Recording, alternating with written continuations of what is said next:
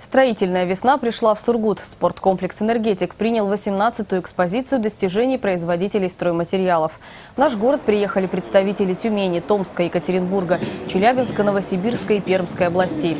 Выставка немного потеряла в весе. В прошлом году свою продукцию представляли 45 предприятий строительного сектора экономики. В 2015-м их число сократилось до 28. Но, как уверяют эксперты, уход некоторых представителей сообщества качественно на выставке не отразился, скорее даже наоборот. Сегодня 80% всех участников строительной весны – это не дилеры, а непосредственно производители.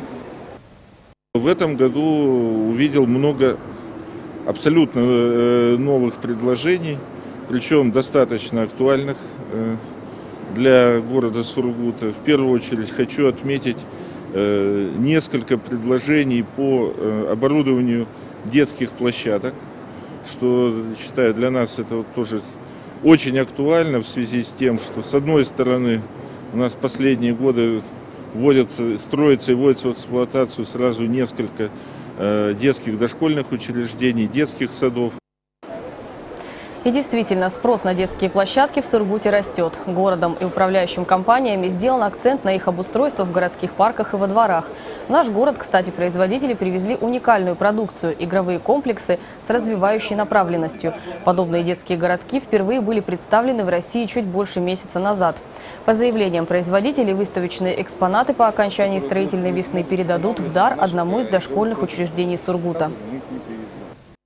Сейчас у нас есть предложение, допустим, после выставки взять тактильные панели и сделать подарок точечный какому-то детскому саду в Сургуте.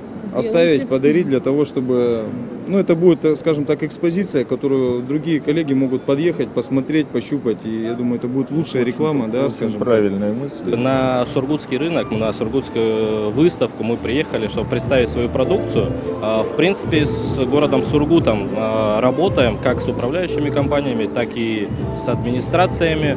А, в принципе, по городу можно видеть наши площадки, которые установлены. Продлится выставка «Строительная весна» до 27 марта. Напомню, что проходит она в спорткомплексе «Энергетик».